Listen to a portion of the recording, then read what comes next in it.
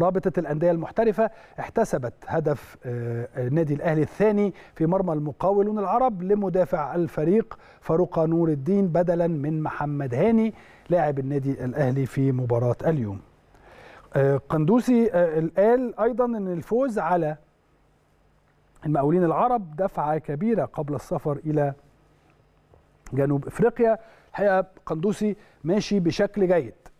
المباراة اللي جاية قندوسي أعتقد إن هي هيبقى ليها دور مهم جدا في دخولك كل قلوب الأهلاوية. إن شاء الله. المباريات الكبيرة دي هي اللي بتقرب أي لاعب جديد من الجمهور. المباريات الكبيرة الأهلي وصن داونز الأهلي والزمالك الأهلي والهلال.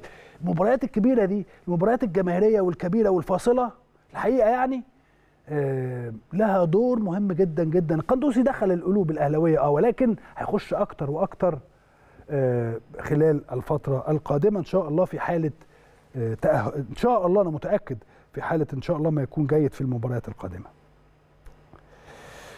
برنامج غذائي خاص للاعبي النادي الأهلي خلال رحلتي جنوب إفريقيا والكاميرون. زي ما قلت لحضراتكم النادي الأهلي من ناحية مجلس الإدارة وفر كل ما يستطيع.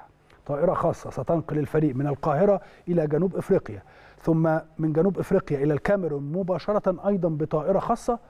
وخلاص مش عايزك تفكر كلاعبين يعني. هي الإدارة بتعمل كده ليه؟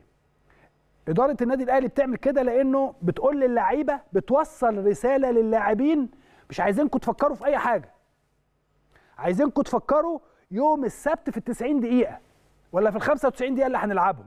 إزاي نكسب هذه المباراة؟ هو ده اللي بيتعمل. من الناحية الإدارية ده اللي أنا أقدر أعمله. من الناحية التحفيزية كلنا المسؤولين اللي موجودين من أول كابتن سيد عبد الحفيظ لغاية كل الناس اللي موجودة كلها بتتكلم بشكل تحفيزي. خلاص ماتش المقاولين ده خلص.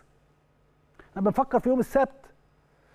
إحنا بقى كجمهور كلنا في ظهركم كلنا واقفين معاكم. كل شوية هقول هذه الكلمة. كلنا منتظرين ثلاثة نقاط يوم السبت إن شاء الله. بدون ما نحط ضغط بدون ما العب لعبك العب لعبة العب لعب النادي الأهلي الطبيعي. إن شاء الله هتكسب. إن شاء الله.